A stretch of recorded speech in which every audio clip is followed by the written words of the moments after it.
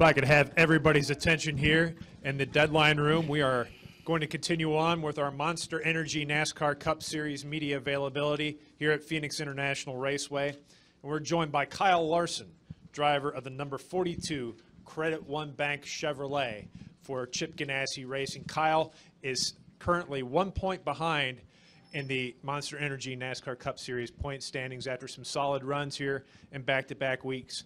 Second in practice today. Is it your time? Do you feel like it's your time and uh, to, to really come and seize uh, seize the lead here this weekend? I hope so. Um, you know, I, our cars have had great speed every every week, so I'm I'm very happy with everybody's hard work at our, our shop. You know, the hard work they put in through the off season uh, and through the beginning of the year. So. Um, you know, a win would be nice, and it'd be you know, nice to be the point leader right now. But you know, we just got to keep these solid runs going and, and build on that momentum, and, and hopefully, you know, the wins will start coming. Um, like I said, though, I'm, I'm really happy right now, having a lot of fun, and just you know, hopefully we can keep it going. Okay, we'll open the floor to questions. We'll start with Lee, and we'll go to Tom, and then to Wolfgang, and then to Bob. Congratulations on running so well this season. Um, wanted to ask you, has your dirt track um, activities, you think that that has helped you with the stages this year, just knowing kind of how to pace yourself and, and being there at the end for stages? No, no. I mean, I don't think so. I mean, it's still, still the same length race. So uh, you just get a caution after uh, some laps. So um, no, I don't. I don't feel like the dirt racing's done anything. I, I, feel like our race cars are better than they've ever been. So I think that's why we run inside the top 10 for you know all race long uh, so far to start the season. It's not that I've got experience running heat races and stuff is why. I just thought, you know, with the shorter, you know how to run, you know, from that you, short segments like that. I didn't know if that was helping you at all. Uh, I don't. No, I mean, I don't think. I don't think it.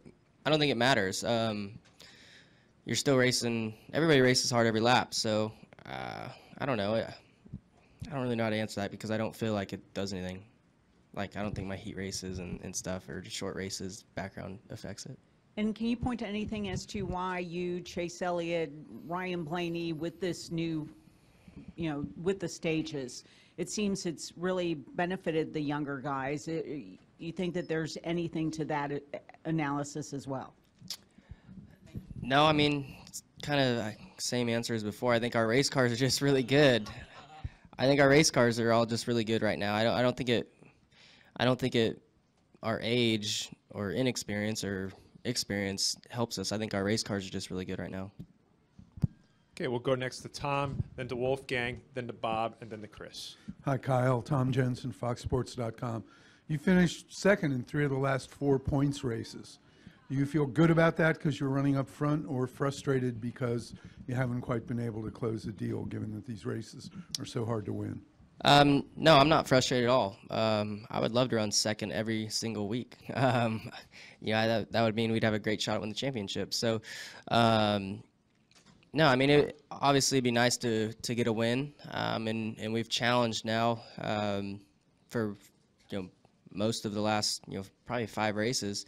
Um, so yeah, it's it's really cool to run up front,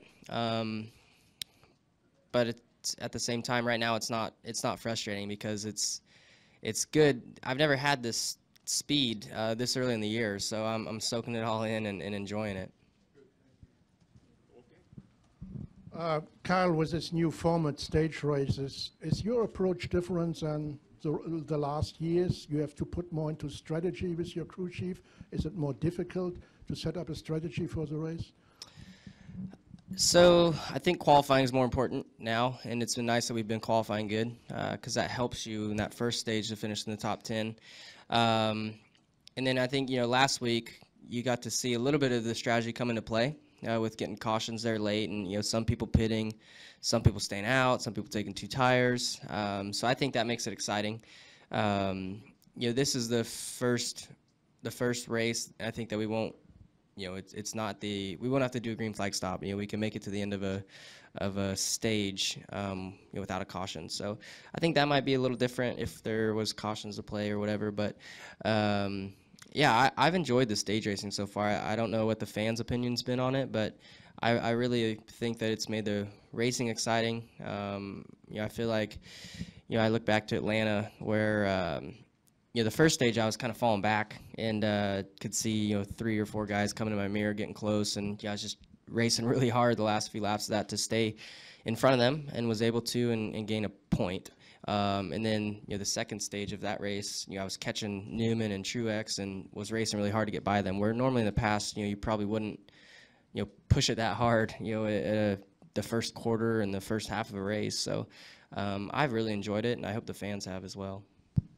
We'll go to the back with Bob. Uh, Bob Pockrass, ESPN. I have two questions. The first is, uh, do you feel like if you're mad enough at somebody di- after last week that you can go down and, and punch them? And would you be willing to do it? Look how big I am. I can't. I can't do that. Um, Joey's got probably about two feet longer reach on me too. So uh, no, but um, I, I'm not the fighting type. I don't think I've ever been mad enough. I've wanted to ever punch anybody. Um, mainly probably because I'm scared that I, I'm the one that's gonna get beat up. Uh, but no, I, I don't know. I, I hope. Uh, maybe I'm small enough too. Uh, I'm a lot smaller than most of the other drivers that maybe you know they'll they'll see the disadvantage while they're walking over to my car and, and won't punch me. But uh, no, it's uh, that was pretty pretty exciting last week. And did, uh, did you watch, have you watched any replays of the wreck? Joey said he made a mistake. Any idea, like, how big a mistake did he make? Um, yeah, I mean, it, it- yeah, it, the replays are, are replays are good, but also you don't get the replay of us in our cockpit. Um, so you know that view is the one that tells tells the tale, and um, it's hard to say. You know, he definitely got in there a little hot, and it looked like he clipped the apron maybe some, which upset his car and, and got him chasing up the track. So, um, you know, hate it that they both had to go through that. You know, Kyle finished bad, and then you know the, the whole fight from everything about it. But um, you know, it's hard racing, and and they'll move on from it, from it, I'm sure, and and you know, race hard with each other. Go next to Chris and then the Reid. Chris Knight, CatchFence.com. Kyle, how has uh, Chip Ganassi Racing benefited with Stewart-Haas Racing under the Chevrolet Circle? Um, so the only thing I, I've noticed different um, now is is we share like engine your driver data. So you know throughout practice and stuff, I can look at all four of the Hendrick drivers' stuff as well as you know they can look at um, you know my my driver data. So like throttle, braking, steering, RPMs, stuff like that. Um, you know, we at Chip Ganassi Racing build our own chassis. Um, I know Jeff maybe confused some people on the broadcast of saying we had Hendrick chassis, but uh, we all, or our, at our race shop, we build our own chassis. So all we really get from Hendrick um, is you know that that driver data. As far as I know, there might be more behind the scenes, but the driver data and then uh, you know the engines. Go next to Reid. Reid Spencer with NASCAR Wire Service. You, Jamie, and Greg Alding were the only three to, to post 10 consecutive laps in this first practice.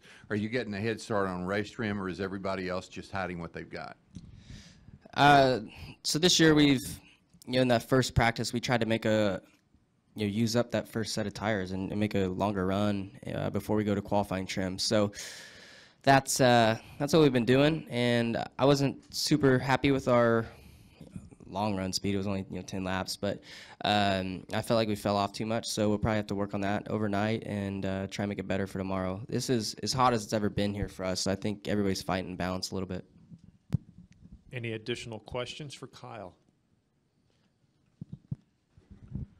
Yeah, Kyle, Tom Jensen, FoxSports.com again. Do you think it was appropriate to not hand out a penalty in the Logano Bush thing? Should those guys have been penalized, or should NASCAR have let it go?